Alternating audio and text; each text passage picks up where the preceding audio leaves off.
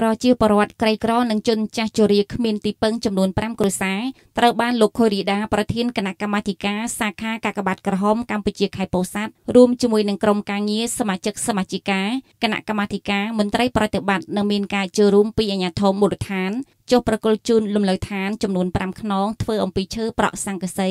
និងជញ្ជាំងក្តារនិងសង្កសីស្មើនឹង5គ្រួសារនារសៀលថ្ងៃទី28ខែធ្នូឆ្នាំ2018ប្រជាពលរដ្ឋនិងចាស់ជរាដែលទទួលបានលំនៅឋាននោះគឺស្ត្រីមេម៉ាយរស់នៅជាមួយនឹងគ្នាចំនួន3នាក់ឈ្មោះម៉ាញ់វិនអាយុ58ឆ្នាំឈ្មោះជឹមរឿនអាយុ77ឆ្នាំនិងឈ្មោះម៉ាញ់វ៉ុនអាយុ60ឆ្នាំ ស្ថិតក្នុងភូមិលងហាបឃុំកោះជុំស្រុកកណ្ដៀងជនក្រីក្រឈ្មោះហ៊ួនសាវីអាយុ32ឆ្នាំប្រពន្ធឈ្មោះផលវឿនអាយុ27ឆ្នាំនិងឈ្មោះកុយសំអាយុ40ឆ្នាំប្រពន្ធឈ្មោះអឹមសុផលអាយុ37ឆ្នាំ មានជំងឺរ៉ាំរ៉ៃរស់នៅភូមិកោះស្ត្រីមេម៉ាយក្រីក្រឈ្មោះជួនរឿន អាយុ60ឆ្នាំរស់នៅភូមិផ្សារលើសង្កាត់លលោកសនិងលោកយាយឈ្មោះសាន់ផាអាយុ80ឆ្នាំចាស់ជរាគ្មានទីពឹង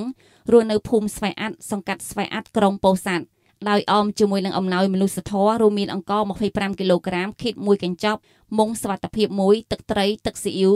និងថវិកា150,000រៀលក្នុងមួយគ្រួសារដោយឡែកលោកយាយសាន់ផាសាខាកាកបាទក្រហមកម្ពុជាខេត្តជួយឧបត្ថម្ភអង្គរនិងថវិកា100,000រៀលជារៀងរាល់ខែ លោកខុយរីដាប្រធានគណៈកម្មាធិការសាខាកាកបាទក្រហមកម្ពុជាខេត្តបានថ្លែងថាដោយទទួលបានសំណុំពរពីអាជ្ញាធរមូលដ្ឋានអំពីប្រជាពលរដ្ឋក្រីក្រនិងចាស់ជរាគ្មានទីជម្រកនោះក្រុមការងាររបស់សាខាកាកបាទក្រហមកម្ពុជាខេត្តបានជួយសាងសង់លំនៅឋានលីសឡើងដើម្បីឲ្យពួកគាត់រស់នៅបានសុខស្រួល។ ទាំងអស់នេះគឺផ្ដើមចេញពីការកិត្តគូនិងយកចិត្តទុកដាក់ខ្ពស់ពីសំណាក់សម្ដេចកេតិប្រិទ្ធបណ្ឌិតប៊ុនអរេនីហ៊ុនសែនប្រធានកាកបាទក្រហមកម្ពុជា ដែលជានិច្ចកាលតែងតែផ្ដល់ការគ្រប់គ្រងជាប្រចាំទៅលើពលរដ្ឋក្រីក្រចាស់ជរាគ្មានទីពឹងនិងអ្នករងគ្រោះដោយប្រការផ្សេងផ្សេងនៅការផ្គត់ផ្គង់ជាស្បៀងជាលំនៅឋាន ការថែទាំសុខភាពនៃជនរងគ្រោះទាំងអស់ដែលត្រូវការ។ ទាំងអស់នេះពិតជាកើតមានឡើងដោយមិនអាចខ្វះបាននៅការចូលរួមគ្រប់គ្រងពីសំណាក់រាជរដ្ឋាភិបាលរដ្ឋអំណាចមូលដ្ឋាន ស្ថាប័នឯកជនដៃគូអភិវឌ្ឍនិងសប្បុរសជនទាំងក្នុងនិងក្រៅប្រទេសហើយបានបញ្ជាមនុស្សរាប់ម៉ឺនសែននាក់ឲ្យរួចផុតពីភាពក្រីក្រ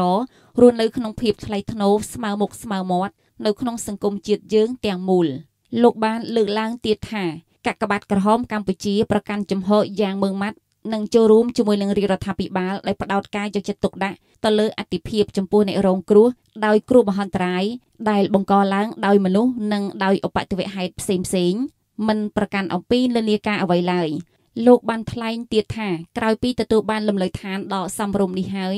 សូមឲ្យបន្តការដាំដុះបន្លែបង្ការជំវិញផ្ទះបង្កើនសេដ្ឋកិច្ចគ្រួសាររក្សាការពារសុខុមាលភាពនិងប្រុងប្រយ័ត្នអំពីបញ្ហាប្រឈមនានាព្រោះថារដូវនេះគឺជារដូវប្រាំងងាយនឹងឆាប់ឆេះបំផុត។